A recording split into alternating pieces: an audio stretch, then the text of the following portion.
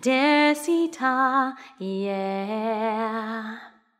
One happy birthday dot com.